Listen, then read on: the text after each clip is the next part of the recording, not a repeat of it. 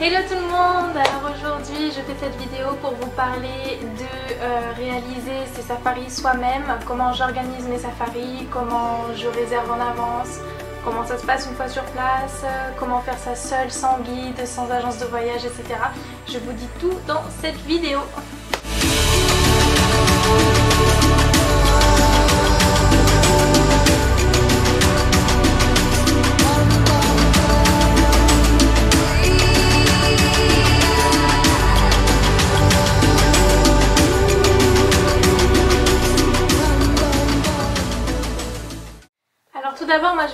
Des safaris en Afrique du Sud et du coup dans le parc le plus connu d'Afrique du Sud et le plus grand, c'est le Kruger Park. C'est un parc national qui fait plus de 20 000 km donc c'est l'équivalent de l'Israël ou du Pays de Galles ou pour ceux qui vivent à La Réunion comme moi, c'est quasiment 8 fois La Réunion. Donc c'est immense, c'est un parc euh, où les animaux sont complètement en liberté. C'est vraiment la nature sauvage pour de vrai. Le parc national Kruger est délimité par des barrières tout autour, donc euh, soit des barrières euh, métalliques, soit par des rivières qui contournent du coup le, parc, ce qui permet en fait aux populations qui habitent au bord du parc d'être quand même préservées. Et euh, ça préserve aussi les animaux, ça leur évite d'aller sur la route et qu'il y ait des accidents de voiture voilà, en renversant un animal.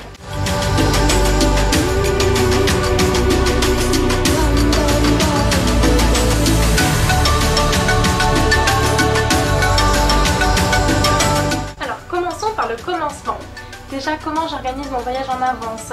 Alors la toute première chose que je vous conseille de faire, c'est de faire votre demande pour le permis international. Alors il y a des gens qui vont me dire oui, bah c'est pas la peine, machin. Moi, j'y vais une fois par an depuis 6-7 ans, on me l'a quand même demandé trois fois. Donc voilà, t'as une chance sur deux qu'on te le demande pour prendre ta voiture de location. Donc fais-le, c'est gratuit. Euh, par contre c'est un peu long, il y a un délai d'un mois ou deux pour recevoir ton permis international. tu mets ça dans ton bagage et, euh, comme ça tu arrives à la location de voiture, t'es tranquille.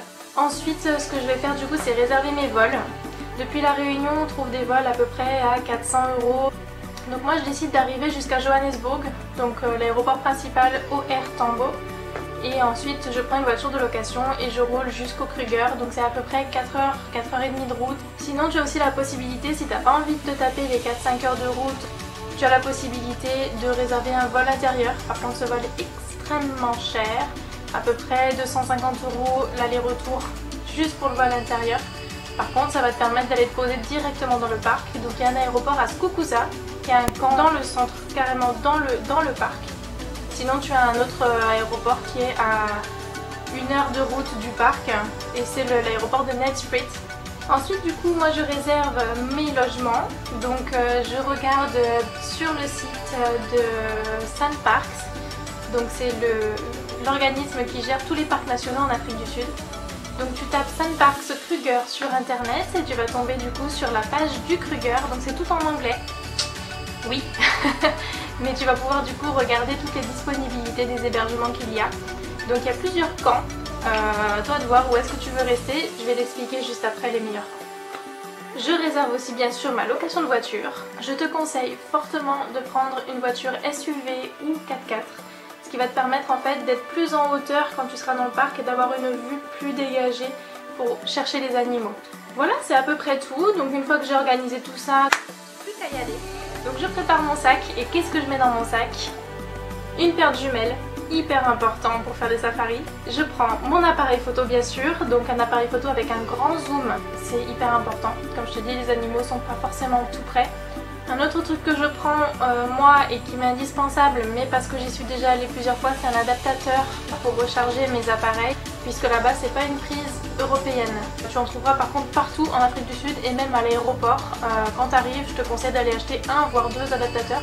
Ou alors tu prends un adaptateur et une multiprise de chez toi qui fait qu'avec ton adaptateur, tu le branches au mur, tu accroches ta multiprise et tu peux brancher du coup tous, tous tes appareils dessus. Et pour terminer, mon permis international pour être sûr que je ne sois pas embêtée une fois arrivée là-bas pour prendre ma voiture de location.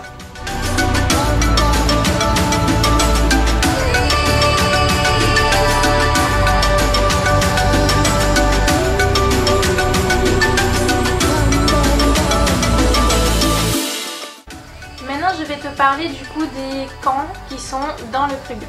Donc en fait c'est des camps qui sont installés dans le parc, clôturés, sécurisés où tu vas pouvoir trouver des petits bungalows pour dormir. Tu vas pouvoir retrouver aussi un shop donc pour faire euh, des petites courses que tu as besoin euh, sur le moment, des pharmacies, euh, des stations essence et bien sûr des restaurants, des snacks pour pouvoir manger à midi et le soir.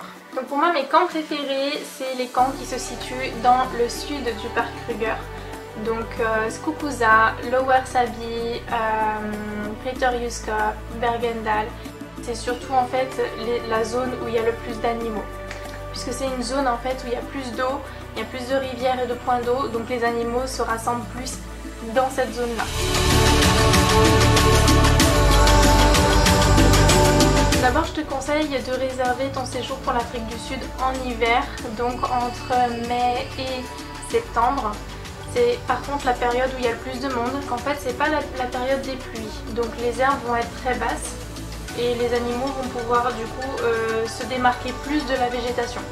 Tu vas pouvoir aussi voir plus facilement les animaux puisqu'ils ont moins chaud donc ils vont sortir plus facilement au soleil et se balader plus facilement.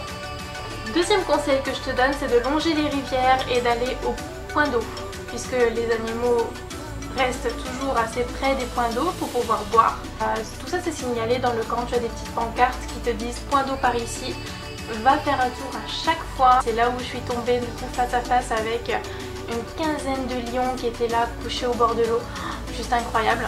Et je les aurais pas forcément vus en restant sur la route principale. Un troisième conseil que je te donne c'est de regarder à l'ombre des arbres et dans les arbres. Puisque les léopards aiment bien se mettre dans les arbres ils aiment bien pouvoir se reposer là-haut, ils savent qu'ils sont en sécurité et souvent ils montent leur proie en haut des arbres pour pouvoir les manger tranquillement. Un quatrième conseil, regarde dans le ciel, cherche les vautours. Quand ils tournent dans le ciel, ça va pouvoir te permettre de savoir qu'il y a une carcasse pas très loin et qui dit carcasse dit fauve pas très loin qui viennent juste d'avoir chassé. Donc tu peux avoir une idée de où trouver du coup euh, les animaux intéressants. Et si tu veux voir des hyènes, alors faut savoir que les hyènes creusent des terriers et elles les creusent en général sous la route pour pouvoir mettre leurs petits à l'abri et surtout garder la chaleur de la route. Ce qui fait que les terriers sont bien douillets. Donc essaye de te mettre à côté d'un trou quand tu vois qu'il y a une espèce de gros trou sous la route. Tu coupes le contact et t'attends pour voir s'il n'y a pas un ou deux bébés hyènes qui va sortir dessous pour, euh, pour voir ce que c'est, qu'est-ce que c'est que cette voiture. Ils sont très curieux.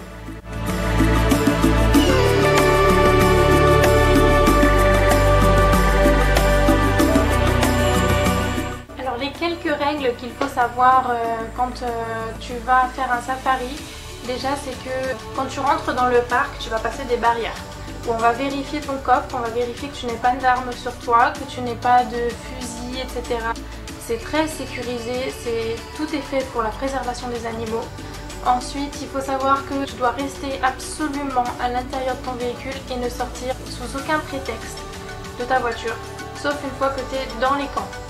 Tu as aussi une certaine distance à garder avec les animaux pour euh, leur sécurité à eux et aussi pour la tienne et celle de ta voiture si tu n'as pas envie de payer une franchise de voiture énorme parce que tu as percuté un, éléphant.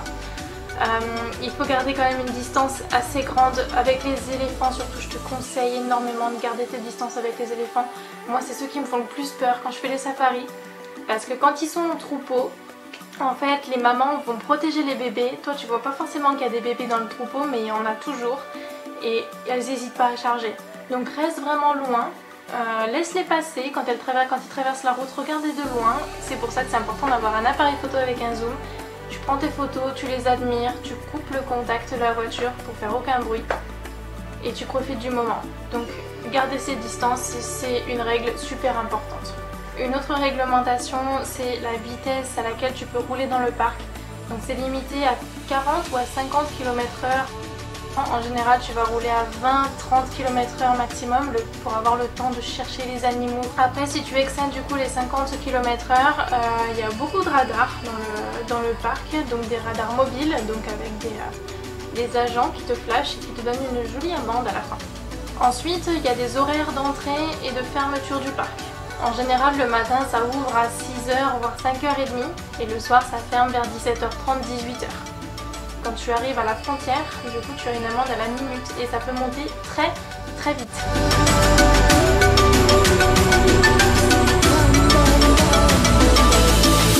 Je vais te parler de mes bons plans maintenant, donc euh, j'ai quelques petits bons plans à te, à te donner.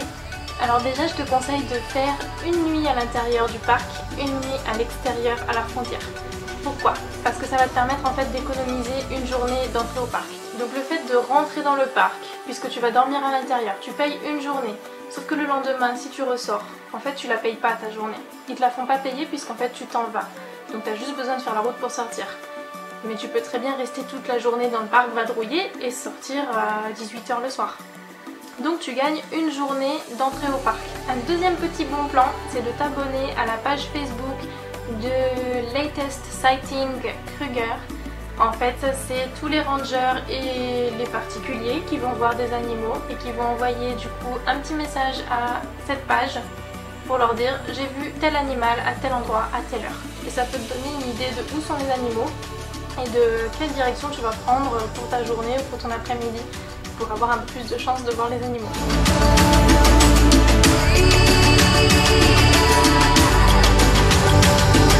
Pour parler un peu du budget, parce qu'on imagine que c'est des voyages qui coûtent très cher d'aller faire un safari en Afrique. Pour les vols déjà, ça va dépendre du coup d'où tu pars. Nous, de la Réunion, c'est à peu près 400 euros.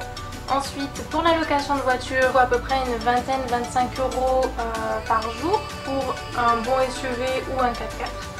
Ensuite les hébergements, ça va dépendre de ce que tu choisis. Moi en général je prends des huttes sans salle de bain, sans cuisine. Donc en fait tu as la salle de bain commune euh, au camp et cuisine commune avec ustensiles traités, etc.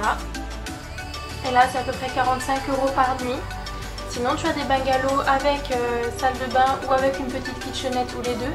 Et là c'est à peu près entre 80 et 95 euros la nuit. Ensuite le budget euh, repas nourriture, ça coûte vraiment pas cher en Afrique du Sud. Je dirais que pour le midi je compte un budget de 6-7 euros par personne pour manger. Donc euh, un snack en fait à midi, à peu près 6-7 euros par personne. Et le soir je compte du coup un restaurant donc pour avoir un, plat chaud quand même. Et là je vais compter entre 15 euh, et 20 euros quand on se fait plaisir par personne. Pour l'essence, euh, moi pour une semaine de safari, je compte environ 150-200 euros d'essence. C'est beaucoup, mais en fait tu vas passer ta journée dans la voiture. Donc en fait tu consommes de l'essence. Donc je compte à peu près 150-200 euros d'essence par semaine. Concernant le prix de l'entrée au parc, c'est 21 euros par jour par personne. C'est quand même un budget conséquent à pas oublier. Au total, pour tout ce que je viens de te citer, j'en ai pour maximum 1000 euros par personne tout Donc c'est franchement abordable. De se faire une semaine de safari en Afrique du Sud, c'est super abordable. Si tu as des questions, bien sûr, tu peux me les poser en commentaire. J'y répondrai avec grand plaisir. J'espère en tout cas que cette vidéo t'aura donné envie de partir en safari, de réaliser ton rêve, puisque qui ne rêve pas d'aller faire un safari soi-même en Afrique, d'être avec les animaux sauvages, la nature, voir les couchers de soleil africains comme on voit à la télé tout le temps. C'est un rêve pour tout le monde j'imagine. Donc euh, voilà, j'espère que cette vidéo t'aura donné envie de te lancer toi-même, que ça t'aura convaincu que c'est facile à organiser, que tout le monde peut le faire, que c'est pas dangereux, que c'est vraiment des voyages inoubliables. Donc euh, voilà, si tu as aimé du coup ma vidéo, je t'invite à mettre un petit like et à t'abonner à ma chaîne. N'oublie pas surtout de t'abonner pour suivre mes prochaines aventures, mes conseils, mes bons plans. Je te partage tout ça aussi sur mes réseaux sociaux, abonne-toi à tout ça et je te dis à très bientôt pour des nouvelles aventures. Ciao ciao